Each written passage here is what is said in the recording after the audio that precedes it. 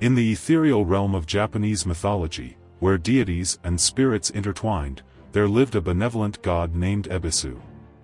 As the patron of fishermen and the harbinger of good fortune, Ebisu's presence brought prosperity and joy to all who crossed his path.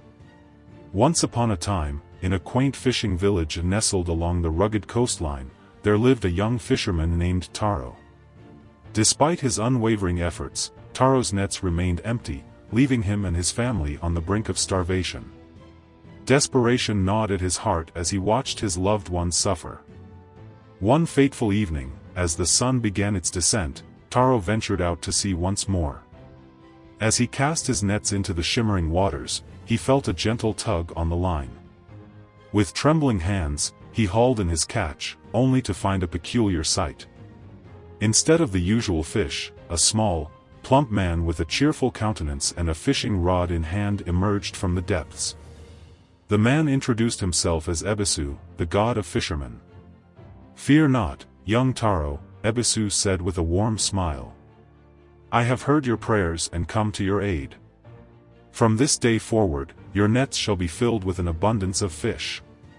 Overjoyed, Taro thanked Ebisu profusely. As the god disappeared into the twilight, Taro's nets miraculously overflowed with the finest catch he had ever seen. The village rejoiced as Taro's newfound prosperity spread throughout the community. Word of Ebisu's generosity reached the ears of a greedy and envious man named Jiro. Driven by avarice, Jiro sought to exploit the god's kindness for his own selfish gain. One night, Jiro approached Ebisu with a cunning plan.